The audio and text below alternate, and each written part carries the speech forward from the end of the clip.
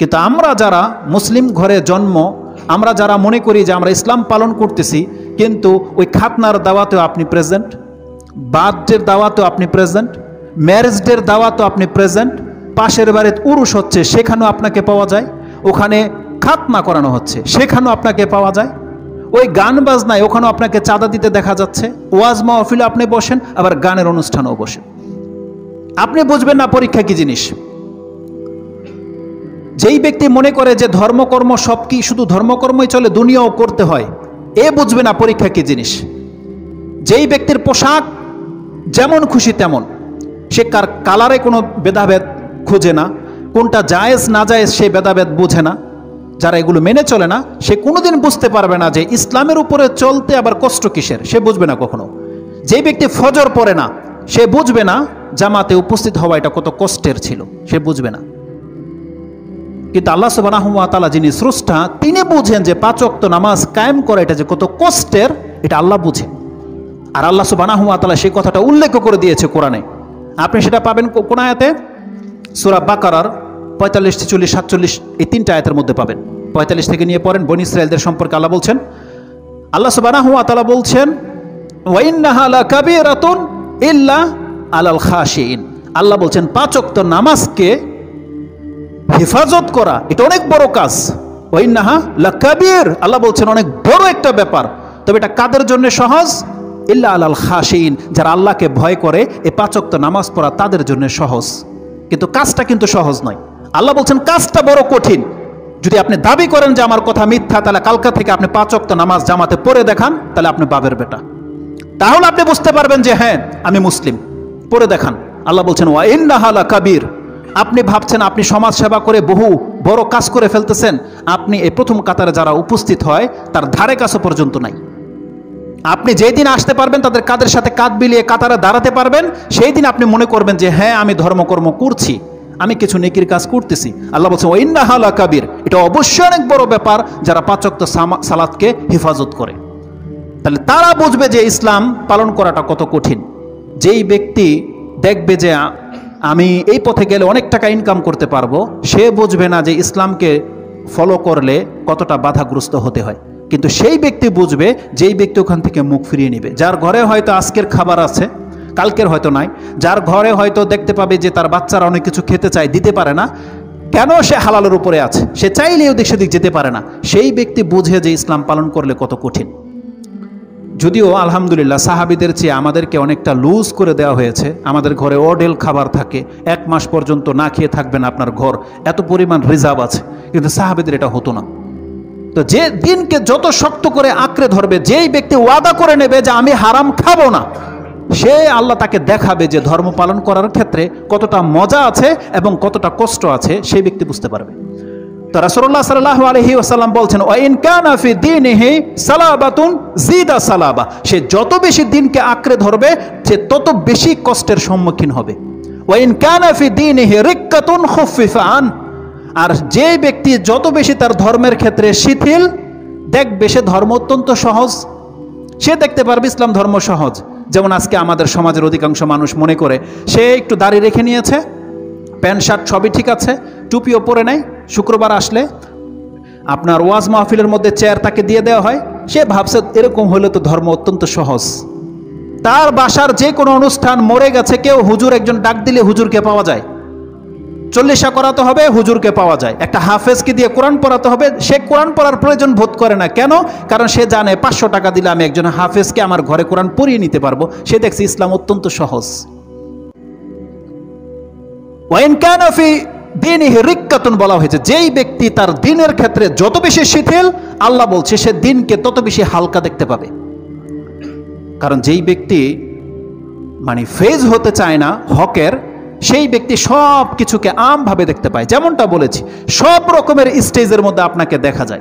কিন্তু আপনি যখন দেখবেন, আপনার ঘরে চাঁদা চেতে এসেছে গানের, আর আপনি বলবেন যে না, আমি গানের টাকা দেই না। তাহলে ওই সমাজে টিকে থাকা আপনার জন্য তখন আপনি কষ্ট ফিল করবেন।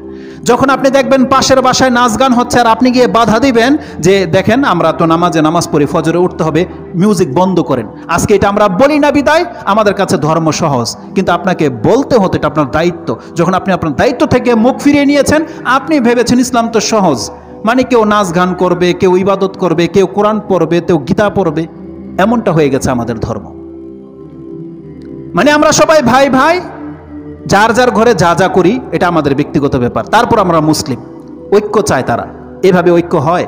বাতিলের সাথে ঐক্য হয়। সৎ ব্যক্তি আর অসৎ ব্যক্তি সমান হতে পারে। কি করে হতে পারে? আল্লাহ বলছেন যে, জান্নাতি আর জাহান্নামি সমান, এটা হতে পারে না।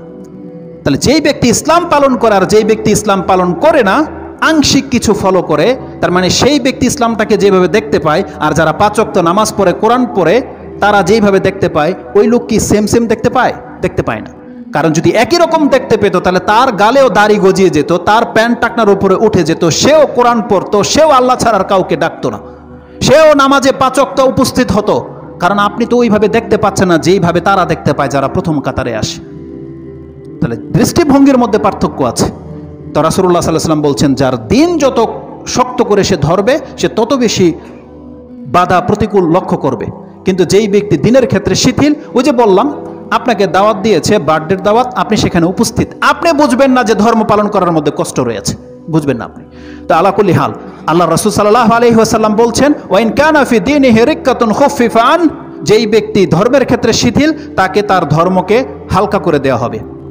ওয়ালাইয়াজালুল বালাউল আব্দ এটা হচ্ছে মূল বিষয়। রাসুসলাম বলছেন ওয়ালাইয়াজালুল বিল আব্দ আজকের খুতবার মধ্যে এই কথাটা আপনার এখানে থাকা উচিত। নেক্সট টাইম কখন আপনি ভুলবেন না যে আল্লাহ কি বলেছে এখানে। রাসুসলাম বলেছেন, যেই ব্যক্তির জীবনে বালা মুসিবত দুঃখ কষ্ট লেগেই থাকে, কেন লেগে থাকে? রাসুল্লাহ সাল্লাম বলছেন, হাত্তা ইয়ামশেফিল আর দে মালাহ খাতে আতুন আল্লাহ তার জীবনে এত দুঃখ, কষ্ট, এই জন্য আল্লাহ তাকে দেয়, আল্লাহ চায় এই জমিন থেকে ও যেদিন মরে যাবে, ওর আমল নামায় একটা গুণা লেখা না থাকুক, এটা আল্লাহ চায়। এটা আল্লাহ মোমিনদের সাথে করে। আল্লাহ বলছেন, আমি মোমিনদেরকে আমার উপরে ইমান আনার পরে ধর্মকর্ম করছে তারপরে ওকে আমি কেন বিপদ আপদ দেই? ওর কেন সন্তান মরে গেছে? ওর কেন অ্যাক্সিডেন্ট হয়ে গেল? ওর ব্যবসায় কেন লস লেগে গেল? ওর ফসল কেন জ্বলে গেল? ডুবে গেল? আল্লাহ বলছেন, আমি চাই যে ও আমার সাথে এমন অবস্থায় সাক্ষাৎ করুক যে ও হবে নিষ্পাপ, ওর একটা আমল নামার মধ্যে একটা পাপ বাকি থাকুক, এটা আমি আল্লাহ চাই না। যার ফলে কেন মানে কি? তার মানে আল্লাহ সুবানা হুয়া তালা আমাদের জীবনের বিপদাপদগুলোকে এমন করে দিয়েছে রাসুসলাম বলতে চাচ্ছেন যে একজন মমিন মুসলিম যখন হবে, তার প্রত্যেকটা আঘাত তার পাপকে ঝরিয়ে দেয়, প্রত্যেকটা আঘাত তার এক স্টেপ মর্যাদা উপরে উঠিয়ে দেয়। এটা হচ্ছে ইসলাম। তো এই হাদিসের মধ্যে যেটা আছে যে আসাদুন্নাসি বালান আল আম্বিয়া সুম্মাল আমসাল ফাল আমসাল। মর্যাদায় যে যত বেশি হবে, তার বিপদ আপদ তত বেশি হবে, এটা আল্লাহ সুবানাহমাতার পক্ষ থেকে জানিয়ে দেওয়া হয়েছে। এই হাদিসটি, এই শব্দতে রয়েছে দারেমিতে, তিনি দুই হাজার আটশো পঁচিশ নম্বরে এনেছেন এবং ইমাম তিরমিজ রাহেমাহুল্লাহ, তিনি তার কিতাবের কিতাব জহুদ চৌত্রিশ নম্বর অধ্যায়ের মধ্যে হাদিস এনেছেন, দুই হাজার তিনশো আটানব্বই নম্বরে রয়েছে মুস্তাদে আহমদ রয়েছে এবং ইবনে মাজত হাদিসটি রয়েছে। হাদিসের সানাদ সাহি, বিদায় আমি আপনাকে কোট করলাম। তো এই হাদিসটিকে ইমাম বুখারি রাহেমাহুল্লাহ তিনি তার কিতাবে আনেননি, তবে প্রথম টুকরা দিয়ে তিনি একটা অধ্যায় কায়েম করেছেন। সেটা আপনি পাবেন পঁচাত্তর নম্বর অধ্যায় কিতাবুল মারাদ। তার তিন নম্বর পর্বটাই হচ্ছে এটা যে তিনি বলছেন, আল এন্নাল বালা আসাদুল বালা এ আল আম্বিয়া সুম্মাল আমসাল ফাল আমসাল। একটা অধ্যায় তিনি কায়েম করেছেন এই টুকরা দিয়ে। যদিও হাদিসটাকে তিনি কোট করেননি। তিনি তারপরে উল্লেখ করেছেন যে কীভাবে একজন ব্যক্তির বিপদ আপদে তার পাপ ঝরে যায়, এই পরীক্ষাগুলোর মাধ্যমে কীভাবে পাপ ঝরে যায়, তিনি এখানে একটা হাদিস এনেছেন। আব্দুল ইবনে মাসুদ রাদি আল্লাহ তালা তিনি বলছেন দাখাল তো আলা রসুলিল্লাহি সাল্লাহ আলহি ওয়াসাল্লাম ওহু আয়ু আকুন রাসুল্লাহ সাল্লাহ আলহি ওয়াসাল্লাম জ্বরে অত্যন্ত কাতর ছিলেন। তার এমন জ্বর হয়েছে ইউ আকুন মানে অত্যন্ত বেদনায় তিনি ভুগছেন। ফাকুল তুইয়া রাসুল, ইন্নাকা লা তু আকু ওয়াকান সাদিদান আপনি হয়তো অনেক বেশি ব্যথিত, অনেক কষ্ট পাচ্ছেন। রাসুসলাম বলছেন, আজাল। হ্যাঁ আমি অনেক বেশি কষ্ট হচ্ছে আমার। তিনি বলছেন, কতটা কষ্ট হচ্ছে? রাসুসলাম বলছেন এমনি ও আকু কামা ইউ কামা ইউ আকুনা রাজুলান মিনকুম। তোমাদের দুইজন ব্যক্তির জ্বরকে যদি একসাথে রাখা হয়, তাহলে যেই বেদনাটা হবে, ওই কষ্টটা আমার হচ্ছে এখন। তার মানে দুইজন ব্যক্তির জ্বর আসলে যতটা সে বেদনা, যতটা কষ্ট সে ফিল করবে, আমার একা আল্লাহ অতটা জ্বর, অতটা বেদনা দিয়েছে। বলছে, এমনটা কেন? তাহলে নিশ্চয়ই উল্তো জালিকা আন্নালাকা আজরান, তাহলে তো আল্লাহ আপনাকে ডাবল নেকি দিতে চেয়েছেন এই জন্য। রাসুল্লাহ সাল্লাহ আলাইসাল্লাম বলছেন, আজাল হ্যাঁ এটাই হচ্ছে উদ্দেশ্য। আল্লাহ যেহেতু আমাকে ডাবল নেকি দিতে চেয়েছে, আমার মর্যাদা দ্বিগুণ করতে চেয়েছে, আমার গুনাখাতা দ্বিগুণ মাফ করতে চেয়েছে, এজন্য আল্লাহ আমাকে কষ্ট যখন দেয়, তখন বাড়িয়ে দেয়। তিনি বলছেন, আজাল হ্যাঁ এই জন্য আমার কষ্ট হচ্ছে। ওফিরে ওয়াতিন সোম্মা কালা কাজালিকা মা মুসলিমিন ইউসিবুহু আজান শৌকাতুন ফামা ফাওকাহা ইল্লা কাফফারাল্লাহু বিহা সাইয়্যাহু কামা ইয়াহুত্তু শাজারু ওয়ারাকাহা এটা হচ্ছে চমৎকার কথা। রাসূলুল্লাহ বলছেন, এই মর্যাদা শুধু আমার নয় এই পৃথিবীতে যত মুমিন মুসলিম আছে কাজালিকা অনুরূপ আমার আজকে যেমন বেদনার কারণে আমার মর্যাদা উঁচু হচ্ছে এবং আমার গুনাখাতা মাফ হয়ে যাচ্ছে, ঠিক এমন মর্যাদা প্রত্যেকটা মুমিন মুসলিমের। আল্লাহ কি করে? মা মিন মুসলিমিন ইউসিবুহু আজান শৌকাতুন ফামা ফাউকাহা যদি তার গায়ে একটা কাটা লেগে যায়, ফামা ফাউকাহা বরং তার চেয়েও হালকা যদি কোনো খোঁচা তার গায়ে লেগে যায়। কাটার চেয়ে হালকা খোঁচা কি? মশার কামড়? তাই নয়? একটা মশার কামড়, কাটার চেয়েও হালকা, কিন্তু ব্যথা অনুভব হয় কিনা মাঝে মাঝে? রাসুসলাম বলছেন, ফামা ফৌকাহা একটা কাটার খোঁচার চেয়েও যদি হালকা কোনো খোঁচা তার গায়ে লেগে যায়, এটা কেন দেয় আল্লাহ সুবানা হুয়া তালা আল্লাহ সুবানা হুয়া তালা তাকে এই জন্য দেয়, ইল্লা কাফার আল্লাহ বিহা সাইয়ে আতিহি আল্লাহ এই খোঁচার মাধ্যমে তার পাপ, ওই মানের পাপকে আল্লাহ মাফ করে দিতে চায়। এক পর্যায়ে তার জীবনে যত বেশি এরকম বিপদ আপদ আসবে, তার রেজাল্ট কি? রাসুসলাম বলছেন, কামা তাহত্ত সাজারাত ওয়ারা কাহা একটা এই যে গ্রীষ্মকালীনে বা কখন গাছের পাতা ঝরে যায় সব। আপনারা দেখতে পান, কিছু কিছু গাছ আছে, সমস্ত পাতা ঝরে যায়, শুধু কাণ্ডটা দাঁড়িয়ে থাকে। রাসুসলাম বলছেন, একটা গাছ থেকে যেমন পাতা ঝরে যায়, আল্লাহ মমিন বান্দাদেরকে বিপদ আপদ দিয়ে এমন করে দেয়, এইভাবে প্রত্যেকটা পাতার মতো তার জীবনের সমস্ত গুণা ঝরে যায়। এইভাবে গিয়ে তিনি আল্লাহ সুবানাহতালার সাথে সাক্ষাৎ করেন। এই হাদিসটা ইমাম বুখারি রাহমাহুল্লাহ কোট করেছেন কিতাবুল মারদ, পঁচাত্তর নম্বর অধ্যায়, হাদিস হচ্ছে পাঁচ হাজার ছয়শো আটচল্লিশ। এবং এই বর্মে আরেকটা হাদিস আমি আপনার কাছে কোট করি, এটাও খুব চমৎকার হাদিস, এটাও ইমাম তিরমিজি রাহেমাহুল্লাহ কোট করেছেন, ওটা বলেছিলাম দুই হাজার আটশো আটানব্বই, এটা হচ্ছে দুই হাজার আটশো ছিয়ানব্বই, দুইটা হাদিস আগে। চৌত্রিশ নম্বর অধ্যায় গিয়ে আপনি পেয়ে যাবেন। এই হাদিসটি আনাস রাদিল্লাহ তালাম তিনি কোট করেছেন, কালা রসুল্লাহি সাল্লাহ আলহি ওয়াসাল্লাম এন্না ইজামিল জাজা ইমা ইজামিল বালা জেনে নাও, যেই ব্যক্তি বেশি মর্যাদা পেতে চায়, তাহলে তার বেশি বিপদের মধ্যে তার বেশি মর্যাদা রয়েছে। যার যত বেশি বড় বিপদ হবে, একটু আগেই বলেছি, এই বিপদ কারও ছোট, কারও কম, কারও বেশি, কারও একরকম হবে না। তার মানে যে আমার চেয়ে বেশি বিপদে আছেন, তাহলে আপনি এই হাদিসটা আজকে এখান থেকে নিয়ে যান। তাহলে আপনি জেনে নেন, আমার চেয়ে আপনি বেশি মর্যাদাবান। আপনি যত বেশি বিপদে যার কাছ থেকে থাকবেন, আপনি ধর্মকর্ম করেন, আপনি মুসলিম, আপনি জেনে নেন আপনার মর্যাদা ওই ব্যক্তির চাইতে তত বেশি, যার বিপদ আপনার চেয়ে কম। যার বিপদ যত বড়, আল্লাহ বলছেন, তার মর্যাদা আমার কাছে তত বেশি। রাসুসলাম বলছেন, ইন্না ইজামিল জাজা মা ইজামিল বালা বড় বিপদের সাথে বড় নেকি রয়েছে, বড় বিপদের সাথে বড় মর্যাদা রয়েছে। এটা আল্লাহ রসুল সাল্লাহ আলহিহাল্লাম বলেছেন। তারপর তিনি বলছেন ও ইন্নাল্লাহ ইজা আহাব্বাল কৌম আল্লাহ যদি কোনো ব্যক্তিকে ভালোবাসে, কোনো জাতিকে ভালোবাসে, ইবতালাহুম, তাহলে আল্লাহ তাকে পরীক্ষা করে। এটা হচ্ছে আল্লাহর হিকমত। ওই যে আপনি যে প্রশ্ন করেন, আমি নামাজ রোজা পড়ে, আমি হালাল খাই, আমি সৎ, আমার কেন এত বিপদ আপদ? তাই না? এটার জবাব আপনাকে এই হাদিস থেকে নিয়ে যেতে হবে। আল্লাহ রসুল সাল্লাহ সাল্লাম বলছেন এন আল্লাহ ইজা আহাব্বাল কৌমা আল্লাহ যখন কোনো ব্যক্তিকে ভালোবাসে, ইবতালাহুম, তাহলে আল্লাহ তাদেরকে পরীক্ষা করে। মানে আল্লাহ নিজে থেকে তাকে কষ্ট, বিপদ আপদ দেয়। কেন? আল্লাহ তাকে পছন্দ করে তাই। এটা আগে বলেছে সে হাদিস। কেন আল্লাহ দেয়? কেন পছন্দ করে আপনাকে? আল্লাহ চায় আপনার জীবনে যে পাপগুলো হয়ে গেছে, আল্লাহ চায় যে কবরের শাস্তি দিয়ে আপনাকে আল্লাহ শাস্তি দেবে না। প্রত্যেকটা মানুষের শাস্তি কিন্তু তার পাপকে মাফ করার জন্য, তাই নয়? কবরের শাস্তি দিয়ে মুমিন পাক সাফ হবে হাসরের মাঠের কঠিন মুহূর্ত দিয়ে মুমিন পাক সাফ হবে জাহান নামের আগুনে ডুবানোর পরও সে পাক সাফ হবে। এটা হচ্ছে সর্বশেষ স্টেপ আল্লাহ সুবানাহ তালা এই দুনিয়াতে যাকে বিপদ আপদ দিতে চায়, কষ্ট দিতে চায়, এরা হলো সেই ব্যক্তি যাদের জীবনে পাপ হয়ে গেছে, আল্লাহ চায় ওরা কবরের শাস্তি থেকে মাফ হয়ে যাবে। আল্লাহ চায় ওদেরকে হাসরের আজাব থেকে মাফ করে দেব। আল্লাহ চায় ওকে আমি জাহান নামে ফেলব না। এই জন্য আল্লাহ সুবানা হুয়াতালা দুনিয়াতে বিপদ আপদগুলো লস লেগে যাওয়া, সন্তান মরে যাওয়া বিভিন্ন যে কোনো ধরনের আচরণ তার পাপকে মাফ করে দেওয়ার জন্য আল্লাহ ব্যবস্থা করেছে। এটা রসুসলাম বলেছেন।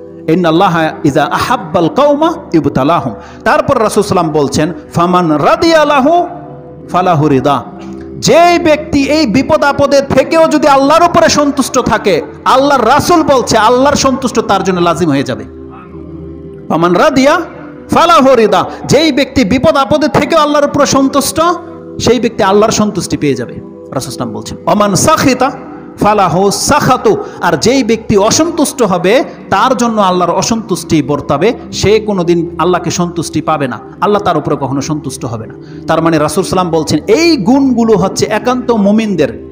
এটা কিন্তু কোনো কাফেরদের জন্য নয়। যেই ব্যক্তি মুমিন মুসলিম, তাদের জন্য এই রেজাল্ট। কারণ রাসুসলাম বলেছেন আজাবান লি আমরিল মুমিন, ইন্নাল আমরুহু কুল্লুহু খায়রুন, ওয়া লাইসা যাকা লি আহাদিন ইল্লা লি মুমিন।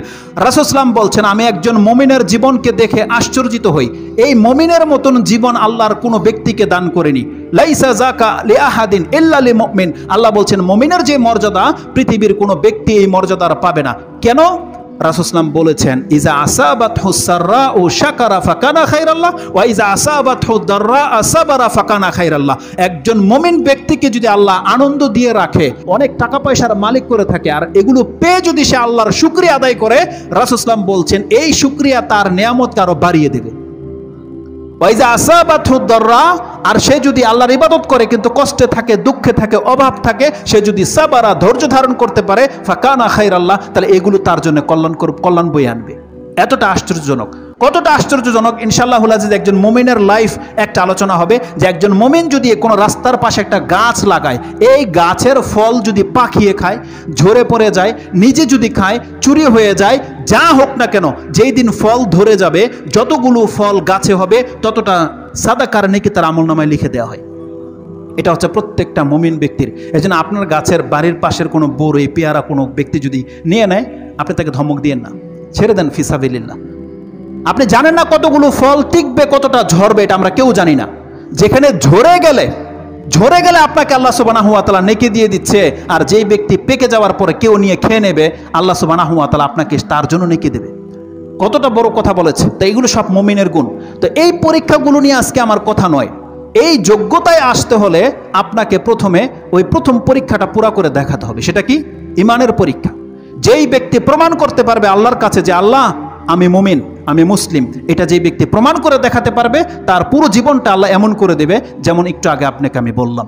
ইনশাল্লাহ এই মর্মে তো বহু কথা আছে, এগুলো এক এক করে আপনাকে বলা হবে পরবর্তী খুদ্বাগুলোতে তা আজকে চলে আসুন, আমি যেই পরীক্ষাটা নিয়ে আপনার কাছে এসেছি, যেই যোগ্যতা আপনি হাসিল করতে পারবেন, যদি এই দ্বিতীয় পরীক্ষাটাকে আপনি পুরা করতে পারেন, সেটা কি?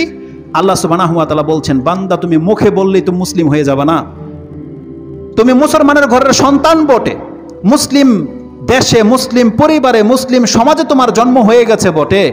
তুমি এর মাধ্যমে তার মমিন, মুসলিম সাব্যস্ত নও। তোমাকে এটাকে প্রুফ করতে হবে, বাস্তবায়ন করে দেখাতে হবে যে হ্যাঁ আমি মুসলিম। কি দিয়ে করতে হবে? এটা আপনার আমল এবং আচরণ দিয়ে করতে হবে। যখন কোনো ব্যক্তি তার আমল এবং আচরণ দিয়ে প্রমাণ করে দেখাবে আল্লাহর কাছে যে, আল্লাহ, আমি ইমানদার, মুমিন, মুসলিম, আল্লাহ বলছেন, এই ব্যক্তির জন্য ওই ফ্যাসিলিটিগুলো সব রয়েছে। কিন্তু অধিকাংশ মানুষ কি ভেবেছে? যে, আমাদেরকে পরীক্ষা করা হবে না। আসুন কোরআনের একটা আয়াত আপনি কালকে দেখাই দিই। আমাদেরকে আল্লাহ সুবানাহ তালা কোনো ব্যক্তিকে বাকি রাখেনি, যেখানে মোহাম্মদুর রসুল্লাহ সাল্লাহ আলহি ওয়াসাল্লামকে আল্লাহ পরীক্ষা করেছেন বিপদ আপদ দিয়ে, সেখানে আর কোন ব্যক্তিকে আল্লাহ বাকি রাখতে পারে?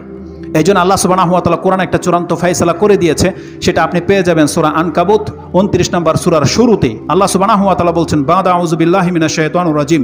বিসমিল্লাহ রহমান রাহিম। আলিফলাম মিম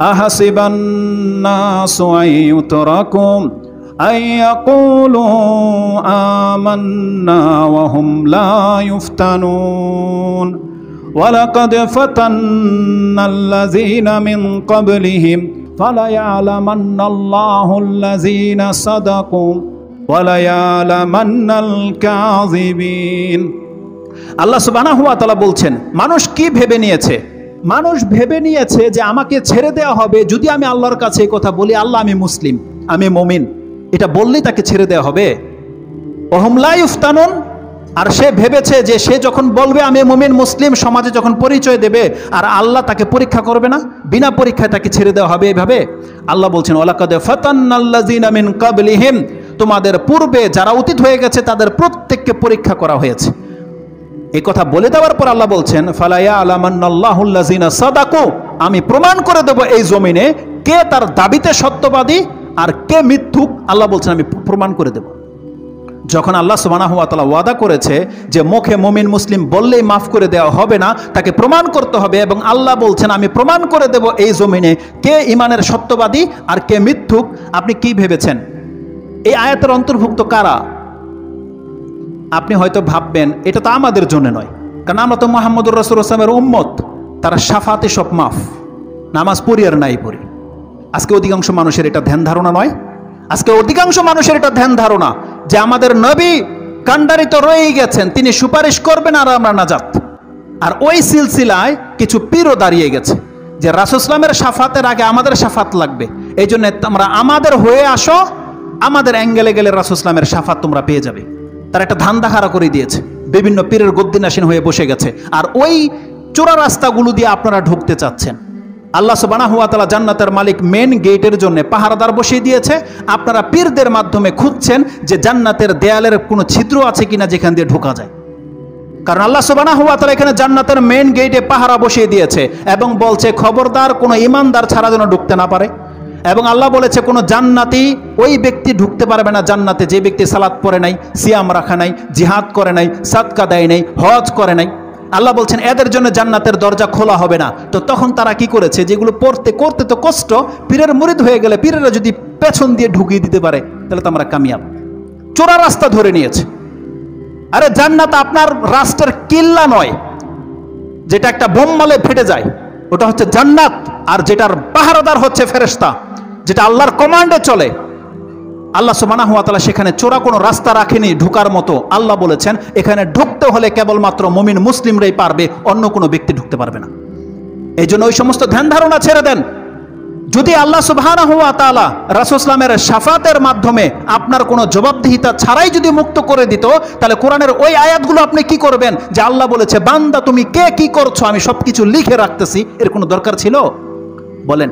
যখন আপনি জানেন যে আমি মরলেই রাসুসলামের সুপারিশ করে আমাকে মাফ করে দেওয়া হবে, তাহলে আল্লাহ যে বলেছে, আমি সব কিছু লিখে রাখতেছি তোমার কর্ম দরকার কি ছিল সেটার? কি দরকার ছিল? বরং আল্লাহ এই জন্য লিখে রাখে, আল্লাহ বলছেন, বান্দা প্রত্যেকটা ব্যক্তির মুখের জবানে সে কি বলেছে, কি করেছে, পাই পাই করে তোমার কাছ থেকে হিসাব নেওয়া হবে। সে আয়াতগুলো আমি আপনার কাছে এখন উল্লেখ করব। তা আমরা ভেবে নিয়েছি যে আমরা জন্মসূত্রে যারা মুসলিম, তারা তো মুসলিম। এটা আবার প্রমাণ কি দেওয়ার দরকার? যারা হয়তো এখন খ্রিস্টান থেকে, ইহুদি থেকে, হিন্দু থেকে ইসলাম গ্রহণ করবে, আল্লাহ হয়তো এখন তাদেরকে বলেছে যে মুসলিম দাবি করলে তোমাকে মেনে নেওয়া হবে, তোমাকে পরীক্ষা দিতে হবে। আমরা অধিকাংশ মুসলমান এই ধ্যান ধারণায় বিশ্বাসী। যে আমরা তো বাপ দাদার সূত্রেই মুসলিম, আমার আবার ইমানের পরীক্ষা কি দিতে হবে? ইমানের পরীক্ষা তো হিন্দু দেবে। যার ফলে আপনি মসজিদে আসেন না। কিন্তু আপনি ভুলে গেছেন প্রত্যেকটা ব্যক্তিকে পাঁচবার পরীক্ষা করা হয়। প্রত্যেকটা ব্যক্তিকে। আপনার জন্ম যদিও মুসলিমের ঘরে হয়ে গেছে, আল্লাহ যখন বলে দেয় এই মসজিদ থেকে পাঁচ টাইম ফজরে হয়েছে, এখন হয়েছে, আরেকটু পরে হবে, তারপরে হবে, এইভাবে পাঁচবার যখন আজান দেওয়া হয়, আর এই কথাটা বলা হয় হাই সালাম। আসো নামাজের দিকে। রাসুসলাম কি বলেছে? এখানে কেবলমাত্র তারা এই ডাকের সাড়া দেবে যারা প্রকৃত অর্থে আল্লাহর কাছে ইমান এনেছে। তারা ডাকে সাড়া দিবে। আপনি কি ভেবেছেন এই আজান এমনিতে দেওয়া হয়? পাঁচক্ত নামাজের ওয়াক্ত জানানো হয়? না, এটা প্রত্যেকটা ব্যক্তির ইমানের পরীক্ষা করা হয় পাঁচবার। কারণ রাসুসলাম কি বলেছে?